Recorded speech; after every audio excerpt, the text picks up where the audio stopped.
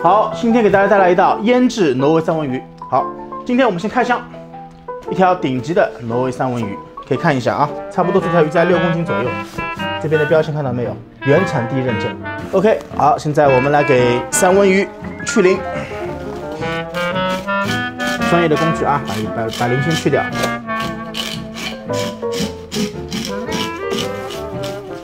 各个角落啊，可以做可以做刺身做腌制，鱼一定要弄鱼鳞一定要弄干净。大家可以看一下鲜红的鱼鳃，怎么鉴别一条三文鱼是不是新鲜？看它的鱼鳃，它的鱼鳃一旦发白、发灰或者发黑，那这个鱼肯定是不新鲜的。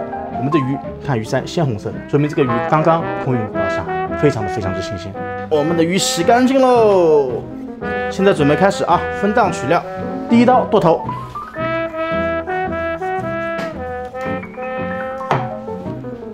翻个绳，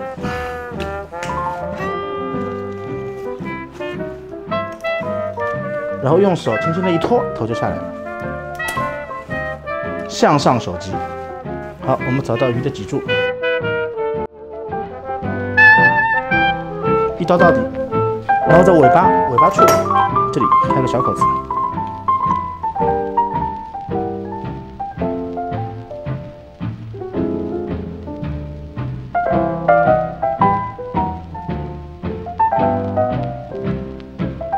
Very nice, clean fish. OK，非常干净啊，大家可以看一下，非常干净。肉上无骨，骨上无肉。好，下一步切下尾鳍。接下来我们处理它的龙骨。看这个新鲜的三文鱼的肉呈橘红色的，深橘红色。而不新鲜的话，它会发白发灰。OK，龙骨下来了。那龙骨上还有很多肉，等会我们会利用起来啊。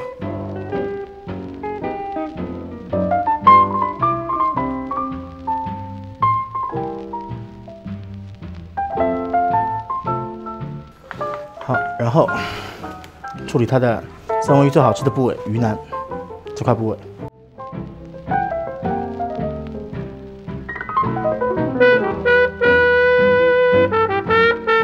接着我们把鱼刺拔掉。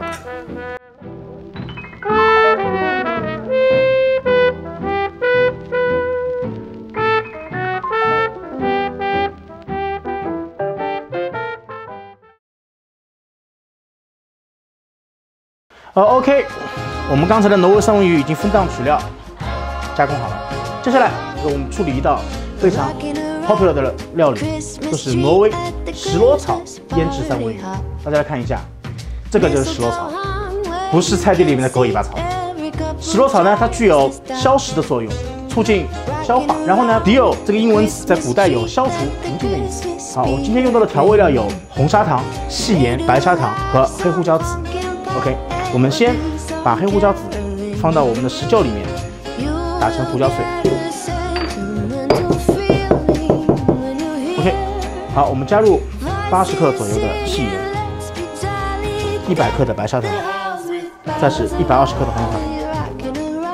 增加红糖，腌制的时候可以增加三文鱼的颜色跟味道。红糖也具有一定的药用价值，活水通络。接下来加入我们刚才打碎的黑胡椒碎。不是黑胡椒粉啊，记住啊，黑胡椒碎慢慢加进去。好，找块我们的切板，把我们的雕草切成切成末。好，不要切太碎啊。然后注混，用手捏，把那个石螺叶子充分的和调料混合。不能碰水，千万不能碰水，碰水掉下来。到明天这时候，我会把这个鱼翻个身，咸鱼翻个身，要腌制。七七四十九个小时。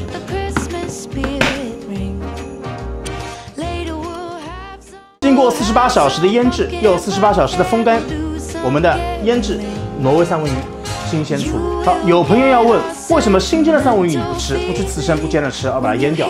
啊，因为当时在挪威的时候啊，三文鱼产量很大，我们来不及吃怎么办？就把它腌制掉，能更加有风味，跟火腿一样。中国人很多猪肉吃不掉，把它做成咸肉，做成火腿，同样的道理。我们来看一下效果啊，晶莹剔透，玉化。那现在文玩界的一句话就是玉化、纯化、半透明状态。哇，满满的清香。你们知道为什么腌制过的三文鱼比新鲜的三文鱼更加好吃？因为我们用海盐排出多余的水分。我们用香菜籽带来更加的口感，我们用貂草带来清香味，我们用红糖带来鲜甜味。好，接下来我们开始切三文鱼。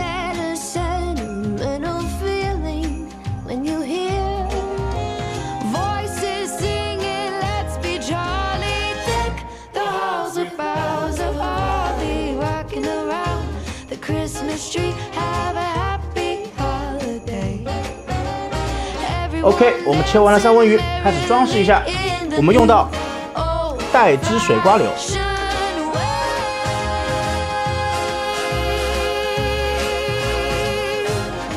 口感有点酸酸的、咸咸的，配合上三文鱼的鲜甜，更加的完美。再一点点黑胡椒，不要太多。一点新鲜石螺、貂草的叶子。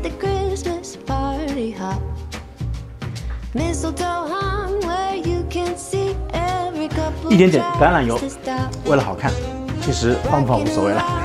经过五天漫长的等待，我们腌制挪威三文鱼总算完成了。当当当当，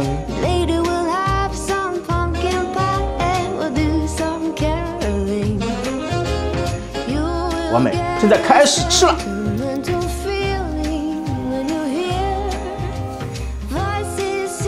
哇，难以想象，太好吃了。三文鱼的香甜，水瓜柳的酸咸，加上我们貂草的清香味，无与伦比的美味，完美。由于第一次来 B 站做视频，比较紧张啊，呃，念一下台词了。本期腌制三文鱼就到这里了，在这个基础上，还可以加工成烟熏三文鱼 （smoked salmon）。下一期为您带来。你们有什么想吃的、想做的、想了解的，可以在评论弹幕里告诉我。谢谢大家，我们下期再见。